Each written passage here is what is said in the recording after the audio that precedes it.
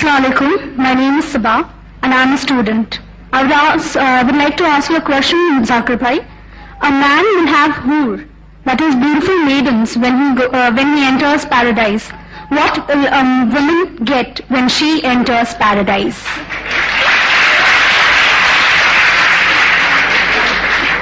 The sister posed the question that when a man enters paradise, he will get hur, that is a beautiful maiden. What will the woman get when she enters paradise? The Quran has mentioned the word hur in no less than four different places. it's mentioned in Surah Dukhan, chapter number 44,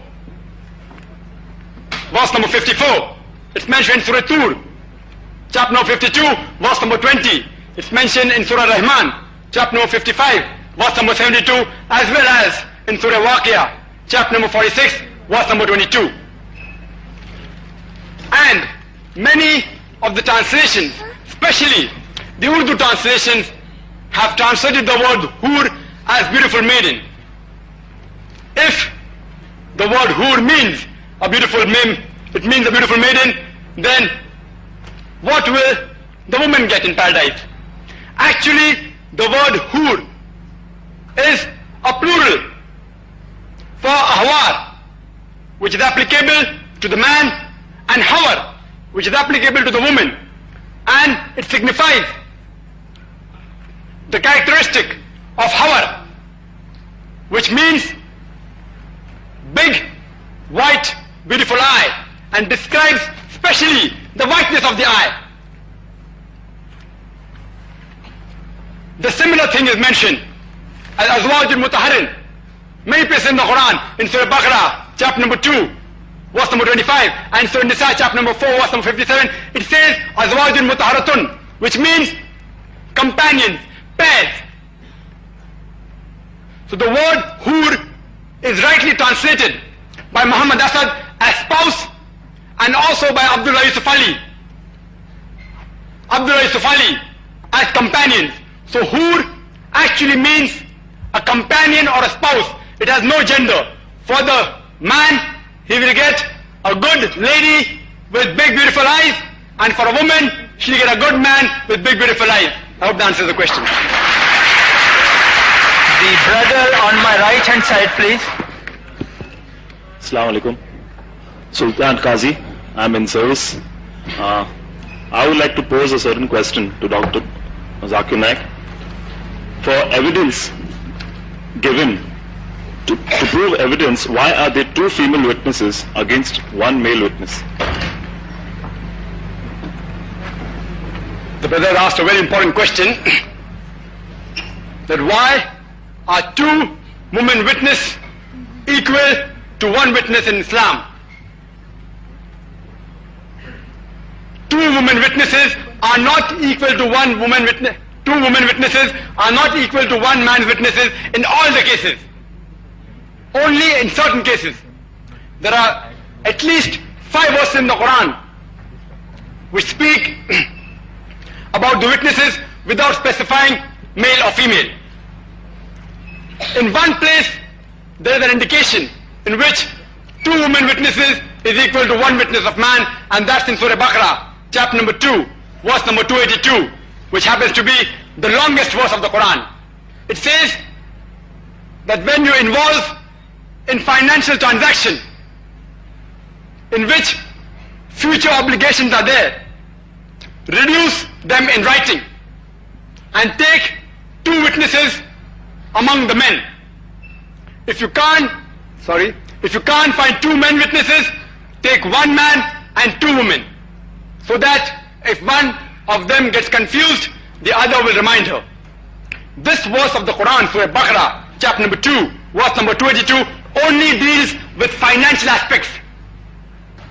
Only in financial aspects. It is said that take two men as witnesses, preferable. Only if you can't find two men as witnesses, take one man and two women. Let me give you an example for a better understanding.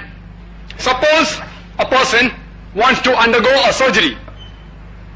He wants to undergo an operation. But natural, he would prefer taking the advice of two qualified surgeons. If he cannot find two qualified surgeons, he would take the advice of one qualified surgeon at least, backed with two normal general practitioners who have got a normal MBBS degree. Because a surgeon is more qualified in the field of surgery as compared to a plain MBBS doctor. In the same fashion, since the responsibility of the financial aspects has been laid on the shoulders of the man in Islam, he is more well versed in finance as compared to the woman. That's why the best option for witnesses in financial transactions is two men. If you can't find two men, then one woman, sorry, one man and two women. Again, if you read in Surah Maida, chapter number 5, verse number 106, it says that when anyone writes a will of inheritance, take two men as witnesses. Again, dealing with financial transaction, men are preferred. Some of the jurists say that even while giving witnesses, in cases of murder, the feminine nature may obstruct her and she may get scared in cases of murder. That's why even in cases of murders, two women witnesses are equal to one witness of man. Only under these two conditions, of finance and cases of murder, are two women witnesses equal to one. Some of the scholars say no. Islam says one place in Surah Baqarah chapter 2, verse number 282, that two women equal to one man, therefore under all circumstances, two women is always equal to one man. Let's analyze. As, as I said, let's analyze the Quran as a whole. If you read the Quran in Surah Nur, chapter number 24, verse number 6, it states that if any of you put a charge against your spouse, and if they have no evidence, if they have no evidence, their solitary evidence is sufficient. Means if a husband wants to put a charge against the wife, or the wife has to put a charge against the husband, if they have got no witnesses, their solitary evidence is sufficient. This verse clearly indicates that one woman witness is equal to one witness of man. There are several cases which the jurists agree that even in cases of sighting of moon, one woman witness is sufficient. Some jurists say that in the beginning of Ramzan, one witness is required. At the end of Ramzan, two witnesses are required. It does not make a difference whether they are man or woman. There are certain cases in which man's witness cannot be accepted. Only woman's witness is accepted. All are waiting for the answer, I believe. Suppose you want to give a witness for the burial bath of a woman. After a woman dies, the witness for a burial bath can only be given by a woman. And only in extreme cases, when you can't find women, then can the husband give the witness. So here, the woman witness is preferable. Hope that clarifies the doubt, brother.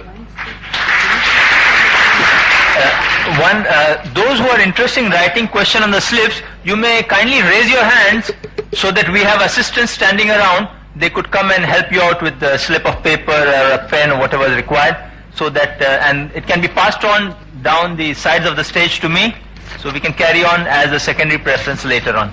Uh, may we have the next question from the sister on the